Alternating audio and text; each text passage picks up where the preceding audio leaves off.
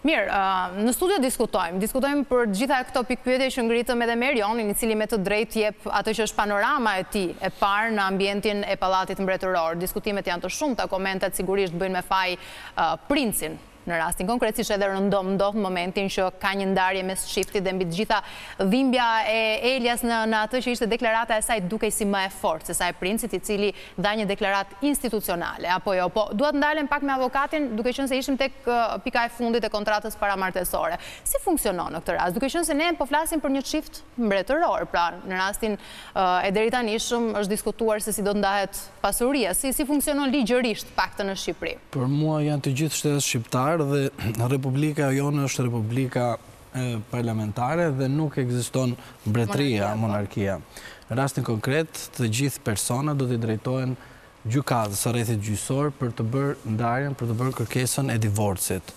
Por ne duhet të kemi parasysh se me sa e kuptova unë, palët kanë gjetur avokatë dhe unë mendoj se ata mund të bëjnë edhe një kërkesë për divorc duke bërë një marrëveshje paraprake që të miratohet në gjykatë se cila palë do të mbajë fëmijën, të ushtrojë atë përgjegjësinë prindërore dhe se si do të bëhet takimi midis palëve me prezencën e fëmijës, ose veç e veç, ose të dy palët mund të takohen herë pas here për të bërë edhe takimin me fëmijën. Por gjithë këto, të kemi parasysh, duhet të kryhen, me pra akti i ekspertimit nga psikolog që të shikojë se si është marrëdhënia midis prindërve dhe fëmijës dhe kush është interesi më i lartë i fëmijës, ajo përcakton akti i ekspertimit psikologjik i cili përcakton që kush është prindër i denjë që të mbajë fëmijën.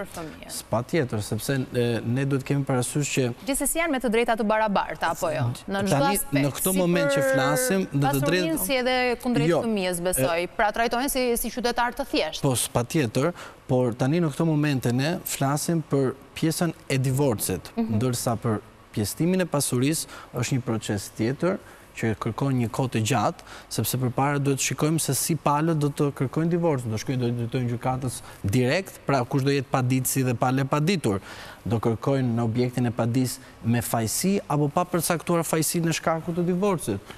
Kush palë do t'i thotë palës tjetër që ti të mbaje fëmijën se unë s'kam problem, po thjesht do dalë akti i ekspertimit psikologjik që kush do të jetë ai që do të mbajë fëmijën.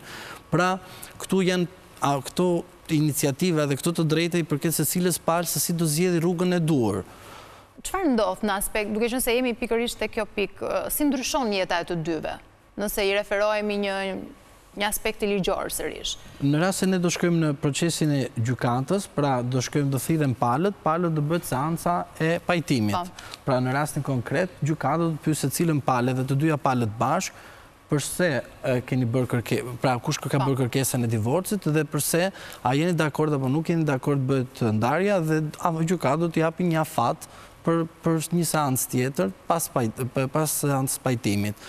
Dhe atëherë palët do të marrin kohën e duhur që ka mundësi dhe të ndërpresin të gjithë, po mhm, kërkesëpadinë edhe të rivazhdojnë ose të rifillojnë pra përsëri lidhjen e tyre. Por përsa i përket pjesës së pasurisë, Ne duhet të kemi parasysh edhe për kontratën paramartesore, në rast se bashkëshortët nuk kanë bërë një kontratë paramartesore dhe pasuria që ata ndërtojnë gjatë martesës është e përbashkët. Por këtu gjithmonë duhet t'i referohemi dhe Kodit të Familjes neni shtatëdhjetë e shtatë që thotë pasuria vetjake. Pra si ka ardhur pasuria, si është ndërtuar dhe a është ndërtuar në kohën kur ata kanë qenë bashkëshortë dhe me çfarë të me çfarë dhënas financiare ajo është ndërtuar.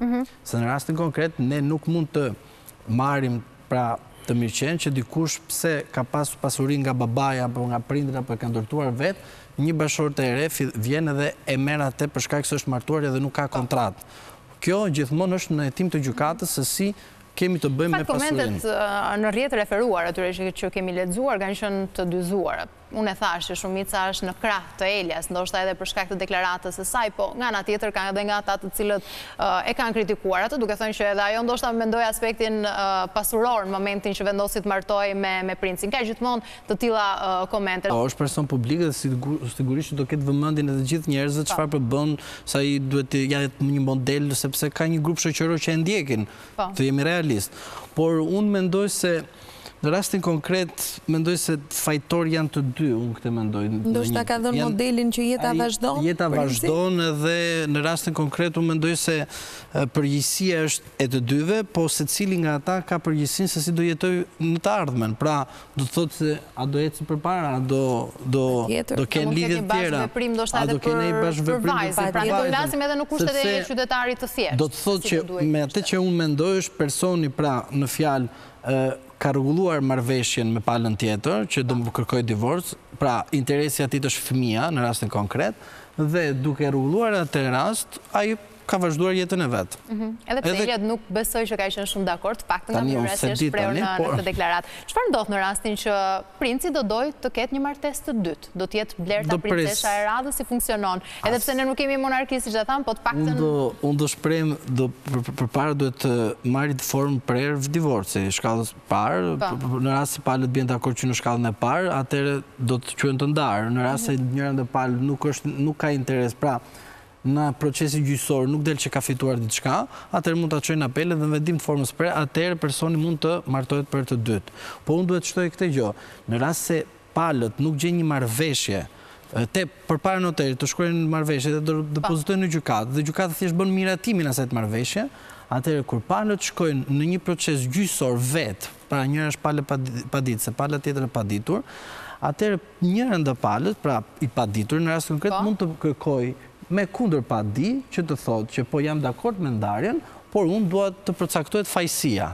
Pra paditësja vjen pa përcaktuar fajësinë dhe i padituri... Nuk besoj që do jetë rasti. Nuk e di nëse do jetë ky rasti. Jo, nuk besoj që do jetë rasti. Në këtë pikë. Për shkak se ka ndodhur kjo ngjarje. I hiqet mbiemri gjithsesi princeshë Elias. Ajo vijon edhe në rrjete sociale ende të ketë emrin Elia Zaharia Zogu. Çfarë çfarë ndodh në këtë rast, nëse ajo do ende ta mbajë, besoj që ka edhe vajza apo gra që ndahen dhe mbajnë ende mbiemrin e burrit, apo jo?